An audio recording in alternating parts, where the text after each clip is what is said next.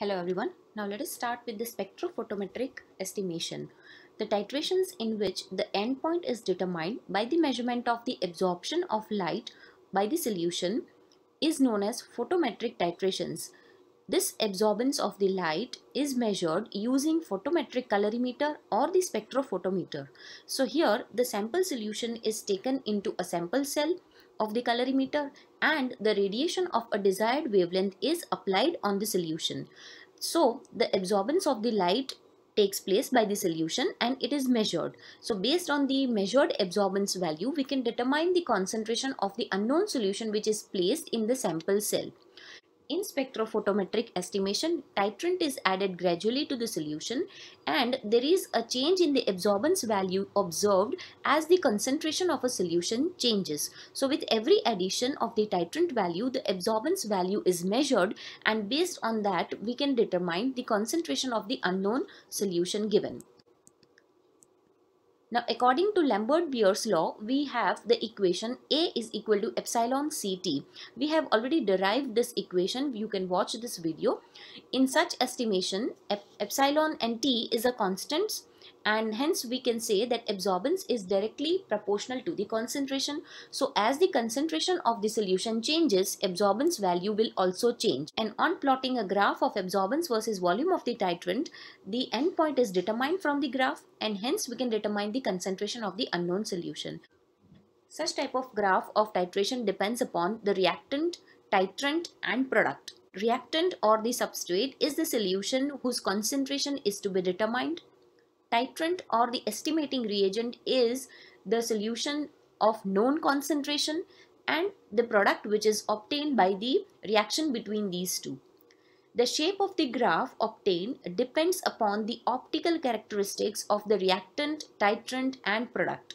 So depending upon the absorbance value of these following type of the photometric curves are obtained.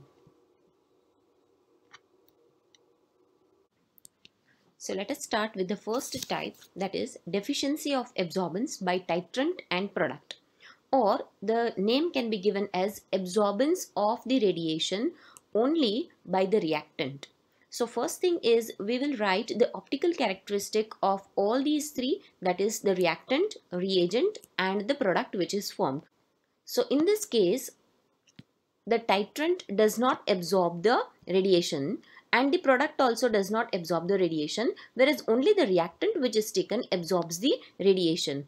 Okay, so initially the color of the solution is due to the reactant that is taken. On adding reagent, the product which is formed gives the optical characteristics or the color to the solution. But here in this case the product shows no absorbance of the radiation. This shows that the product is colorless. So initial value of the absorbance is due to the reactant which is because of the colored solution which is uh, relatively we will see in the graph that is higher. But on adding the reagent and uh, simultaneously the formation of the product shows no absorbance characteristics and hence the value will decrease and after the end point where we say the reactant is consumed completely by the reagent that is added and complete formation of the product has occurred. So now there is no more reactant in the solution to react and form the product. So initially here what we see is initial absorbance it can be shown from here say absorbance value is higher because the reactant shows the optical characteristics meaning the reactant is colored.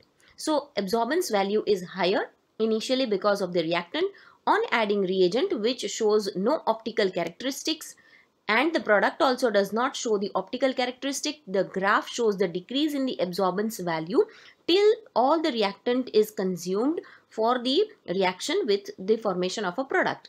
After the endpoint on adding reagent, now the graph shows a straight line that is the absorbance value is a constant value because the reagent here does not show the optical characteristics. That means there is a deficiency of absorbance by the reagent which is added. So the graph obtained is of this type. Okay. Now let us see the second type where type 2 is the deficiency of absorbance by the reactant and product. So reactant does not absorb, reagent or the titrant that is added shows the absorbance characteristics and the product which is formed also does not show the absorbance. So initially the color of the solution is due to reactant which is not showing any absorbance so it is colorless adding reagent, the product is formed which also does not show the absorbance but the reagent that is added shows the absorbance characteristic. So we can see a slight colored solution and after the endpoint the color of the solution is only due to the reagent that is added. This you can remember.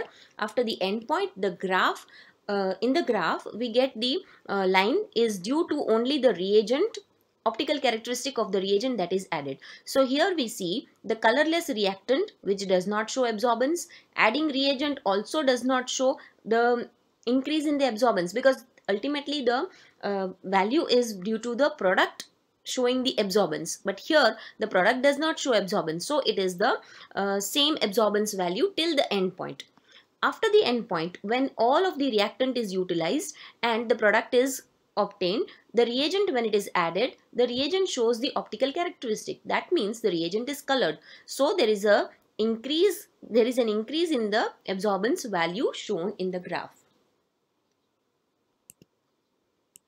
Third type is the deficiency of absorbance by reactant and reagent. So reactant does not absorb, reagent also does not absorb, but the product which is formed shows the absorbance characteristics. So reactant initially taken shows no absorbance. Reagent added also does not show absorbance but the product obtained shows the absorbance characteristics. In the graph we can see initially the absorbance value is due to reactant which does not show optical characteristics so it is colorless. Adding reagent also uh, it does not show but the product obtained shows the absorbance characteristics so it shows the increase in the curve initially till the endpoint, till the complete uh, formation of the product is obtained. After the endpoint, when the reagent is added, as here reagent does not show any absorbance characteristics, it shows a straight line in the graph. So this is the type 3 where there is a deficiency of absorbance of the radiation by the reactant and reagent. Type 4 is the deficiency of absorbance by product. So there is only the absorbance of the radiation by the reactant and reagent whereas the product obtained does not show any absorbance. So initially the reactant which is taken shows the absorbance value and after the endpoint the reagent added also shows the absorbance characteristics. So initially the absorbance value is higher as the reactant shows the absorbance characteristic it is colored. Adding reagent the product which is obtained does not show absorbance characteristics show, so it goes on decreasing till the endpoint or complete formation of the product. After the endpoint, the reagent which is added shows the absorbance characteristics and hence it is shown by the increase in the graph. So this all are the uh, types of the photometric uh, graph. Thank you.